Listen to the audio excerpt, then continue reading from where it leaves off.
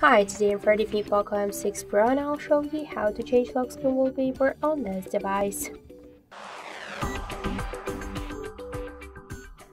So first open the settings and then tap to the wallpaper section.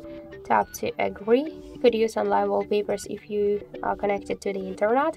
Also you could use the default wallpapers or you could tap to find more to use the uh, other online wallpapers. Also you could use photos from your device gallery. So let's just select one from the wallpapers. You could see the preview on logo home screens. Tap to apply, click to set as lock screen and that's it. So now let's just check and we could see that we just successfully changed our lock screen wallpaper.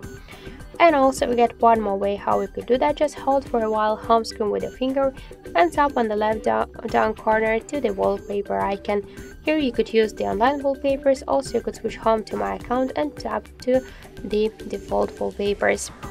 You could also click here to this plus icon and to select here the photos from the Google Drive, Google Photos, Files, Media Player or the Gallery let's just tap the wallpapers here and just I'll for example this wallpaper tap to apply. You could set it on lock screen home screen or to set it to both for example.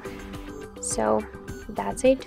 Thank you for watching and if you like this video leave thumbs up and subscribe